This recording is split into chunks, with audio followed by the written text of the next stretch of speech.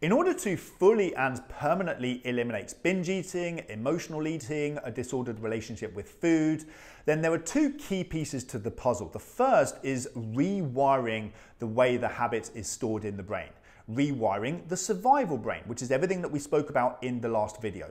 And when we work with our coaching clients, we teach them a process that we call the RAP process, which is an incredibly fast and powerful way to do that.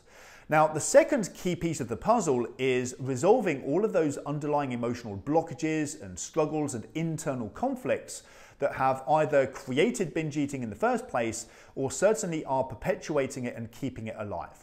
Because if you're like most of our clients, in addition to your struggles with food, there's also this undercurrent of a whole host of internal struggles, which can include things such as low self esteem, low self worth, not feeling good enough, perhaps upsetting events from the past that you can't seem to move past, fear of failure, fear of being judged or criticized, fear of other people's opinions, perfectionism, over analyzing, overthinking. People pleasing, rumination, chronic worry, negative body image, monkey mind. Now, all of our clients are busy. They have demanding jobs, they've often got a team depending upon them, or perhaps a busy business that they're running. And many of them, in addition to that, they've also got a busy home life, perhaps a family, maybe with some children involved. However, the true reason why people struggle with chronic, ongoing stress and overwhelm is not because of all of those externals, it's because of the internals. Because an entire day spent in low self worth, not feeling good enough, perfectionism, overthinking, overanalyzing, people pleasing, chronic worry, rumination. By the end of the day, it leaves you burnt out, exhausted, and in desperate need of release. And what's the fastest way that you've learned to give yourself that sense of release? Food and drink. Now, so far in the last video, we spoke about targeting the habit directly, which is rewiring the survival brain. However, if we ask somebody to do that on its own without also addressing underlying emotional struggles like low self worth and perfectionism, then it's kind of like asking somebody to overcome their addiction to painkillers whilst also simultaneously subjecting them or leaving them in constant ongoing physical pain. Can it be done? Yes, but chances are they're just going to remain stuck in survival mode. However, many people worry that overcoming these types of emotional or internal struggles is long and slow and painful, and nothing could be further from the truth. The truth is that overcoming these types of issues, things like low self worth, anxiety, not feeling good enough, chronic stress and overwhelm, is incredibly fast when it's done right. And if you haven't overcome these types of struggles yet, that says nothing about you or your capabilities or your future and everything about the methods that you've been trying so far.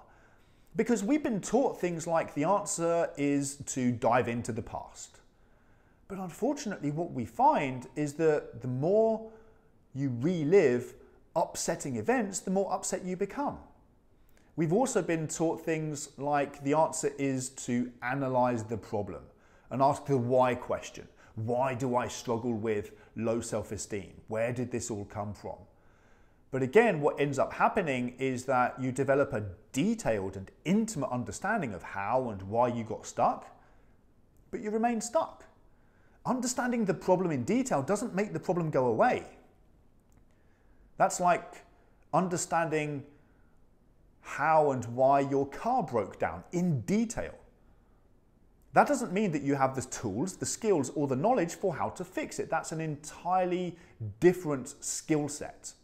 So the truth is that struggles like anxiety, low self worth, chronic worry, these are not disorders or conditions. These are learned behaviors. Now, they've been learned unconsciously and accidentally without you even realizing it. However, nonetheless, they are learned behaviors. And equally, self confidence, inner peace, assertiveness, inner strength, calmness, self worth, self love. These are also learned behaviors. So, one of the key messages here, which is kind of ironic, is that in order to get rid of what you don't want, you don't need to get rid of what you don't want. You need to replace it with what you do want instead. Think of it in terms of learning a skill. Imagine that you're learning a musical instrument or a sport. In order to get rid of the bad habits that you may have developed, you don't need to dive into and analyze those bad habits in detail. Instead, you simply dedicate yourself to the habits and the skills that you want to replace them with.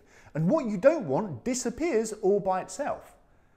So, in exactly the same vein, self worth, as an example, isn't something that you have, it's not something that you have to find or discover, it's something that you do. It has a very clear strategy. And when you're doing that consistently, to the point where it's starting to become a habit, now things like low self worth, not feeling good enough, self doubt, insecurity, these things disappear all by themselves without you having to analyze them or understand where they came from. So when you finally understand that you are not flawed or broken, there's nothing wrong with you. Your nervous system is doing exactly what it is designed to do. You've simply developed some bad habits, patterns of thought and patterns of behavior that are not serving you. Now you can stop worrying about what's wrong with me. And you can stop obsessing over what you're trying to get rid of and instead start dedicating yourself to what you want to replace it with. The skills, the patterns of thought, the patterns of behavior, the patterns of emotion that you want more of. And what you don't want disappears all by itself.